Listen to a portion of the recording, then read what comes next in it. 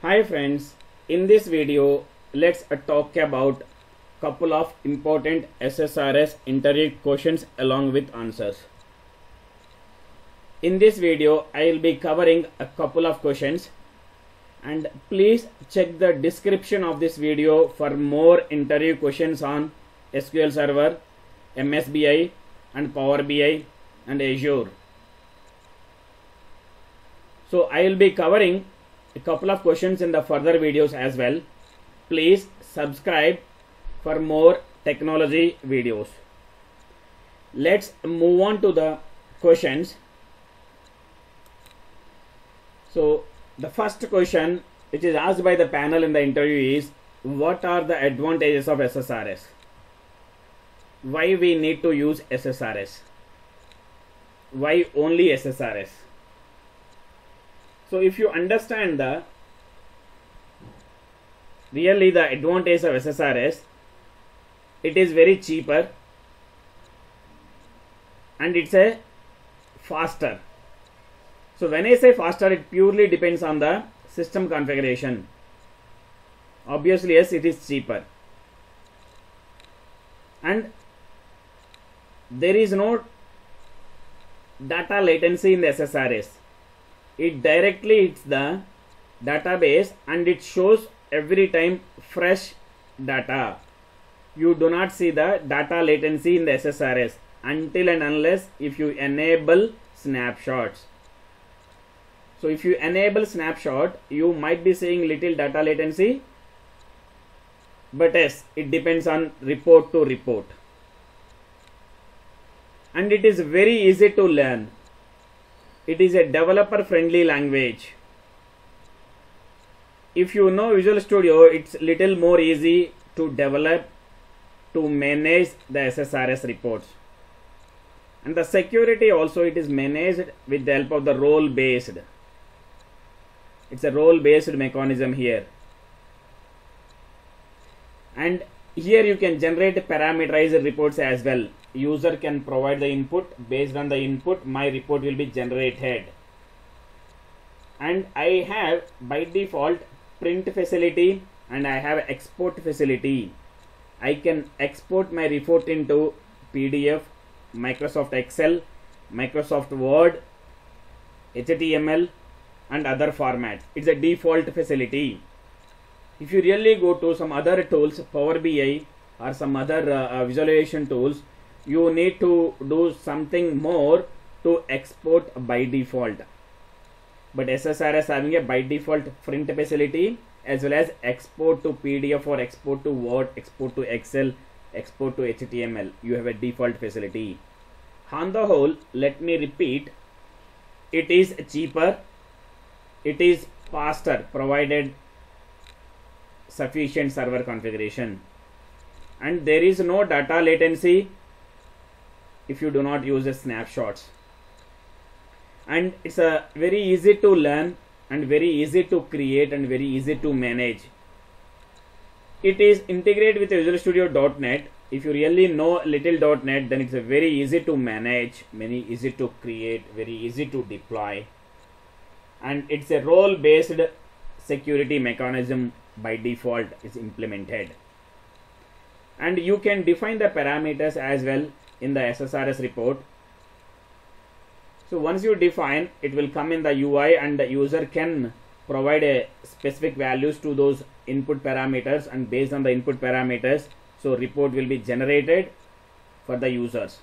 So once the report is generated, he can print the report and he can export into any format. And yes, here I can control the print icons and I can control the export icons. So based on the requirement. If the user asks to remove the print icon, I can remove it. If the user asks to remove the export icons, I can do that. So once we remove, it, it automatically removes for all the reports those icons at the server level, not controlled at the report level. So these are the advantages of the SSRS. The next one is why report server and report server tempdb databases created created when we install ssrs yes to manage with SSRS, I might need two databases. The default databases are report server and report server tempdb. So the report server is a database which contains the user information, roles information and reports information. And when we go to the report server tempdb, this tempdb is the one which helps me to improve the performance of the report. So when I say it contains temporary data, sessions information and cached reports and all. The report server tempdb is the one which helps the performance of the report. So when I restart my report server, my report server tempdb will automatically restarted and it will be remove the cached information. So that is the purpose of report server and report server tempdb. So by default, when we install the SSRS, you will get two databases. One is the report server and report server tempdb. So can I connect to a different database other than report server and report server tempdb? Yes, you can do that. So, but you need to manage the same structure how the report server and report server tempdb. In the report services configuration, you have a facility to connect to the different databases. So that is nothing but why report server and report server tempdb is required when we install SSRS or why we need it. The next question is can I use a stored procedure in SSRS to generate a report? Yes, I can use it. When I install SSRS, it means that I can connect to the SSRS with the help of the SQL queries or with the help of the stored procedures. And by using the stored procedure is only the best mechanism to generate a report in the SSRS reports because stored procedure is a pre-compiled and efficient way in generating a report. Obviously, yes, I can use a stored procedure in generating a SSRS report. Even my stored procedure are going to accept input and output parameters here. Here I can go with input parameters. So maybe output par parameters we may need to check but a stored procedure accepts input parameters from the report and it generates a report based on the user inputs. The next question is can I write a .NET code directly in SSRS report yes you can write it. So if you go to the report body there is a place where you can directly write a .NET code. That is a custom code is there. In the custom code you can write a VB.NET code directly and you need to follow VB.NET uh, syntaxes to write the code.